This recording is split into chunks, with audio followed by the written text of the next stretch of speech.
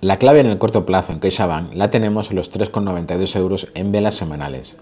Durante la semana pasada, en la que asistimos a importantes caídas puntuales en los mercados de renta variable europeos, vimos cómo los títulos de CaixaBank marcaban un mínimo en los 3,97 euros y desde ahí comenzaba a rebotar. El primer soporte importante lo tenemos en el hueco alcista diario y semanal de los 3,9250 euros, lo que quiere decir que la caída sirvió para rellenar casi en su totalidad este hueco. Pero lo importante es que no se cerró, solo se rellenó.